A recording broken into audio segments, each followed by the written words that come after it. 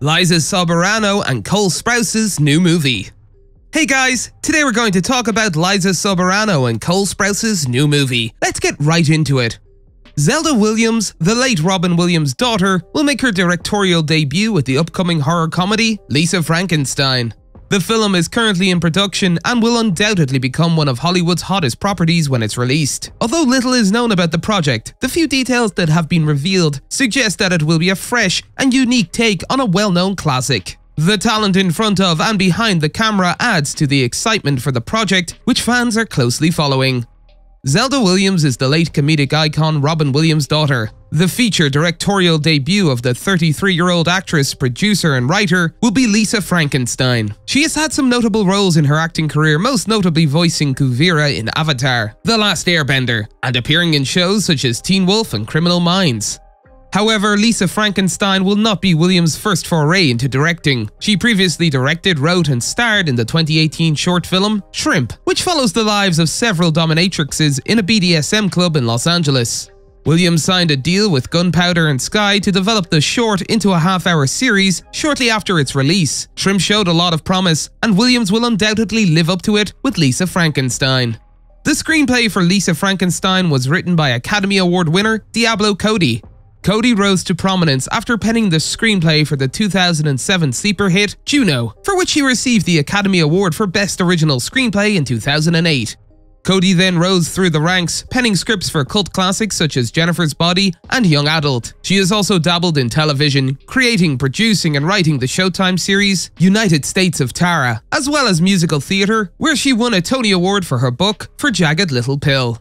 Cody is well known for her penchant for dark comedy, her projects are visceral yet rewarding due to a healthy mix of dark humor and genuine tragedy. Although details about Lisa Frankenstein are scarce, it stands to reason that the film will be a dark comedy. After all, that is Cody's speciality. Fans can also expect the film to take a strong feminist stance, which is one of Cody's trademarks. Cody will produce Lisa Frankenstein in addition to writing. Mason Novick, with whom Cody has previously worked on Juno, Jennifer's Body, Young Adult, Paradise, Ricki, and The Flash, and Tully will join her. Novick is an Oscar nominee for her work on Juno, as well as other successful films such as 500 Days of Summer. So far, Cody and Novick's collaboration has been fruitful. All of their projects have received critical acclaim, garnering acclaim for stars such as Charlize Theron and Meryl Streep. Lisa Frankenstein may not be an Oscar contender, but it should do well with critics and audiences. Kathryn Newton is one of Hollywood's hottest newcomers. Newton went on to star in projects such as the 2020 horror comedy Freaky and Netflix's beloved but short-lived drama The Society, after her breakthrough role in HBO's Big Little Lies.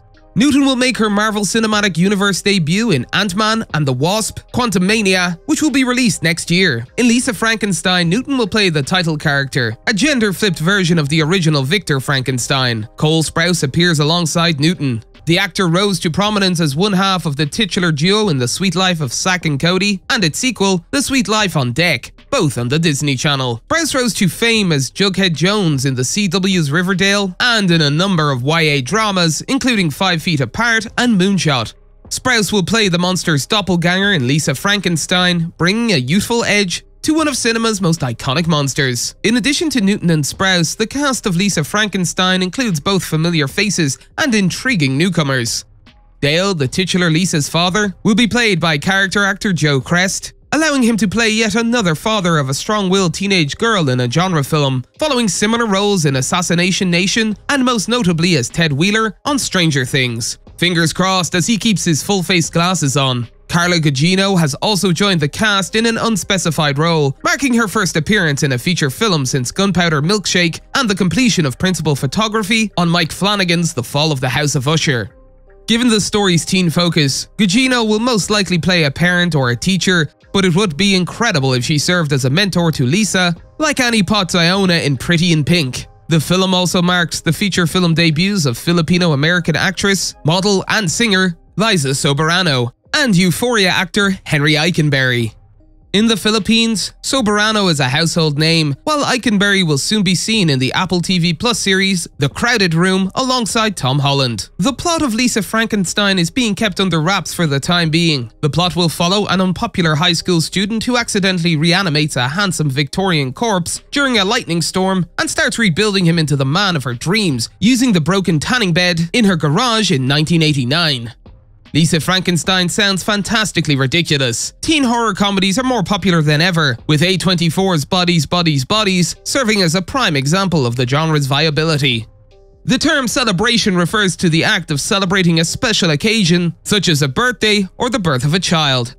That's all for today, and we'll be sure to catch you all in the next one.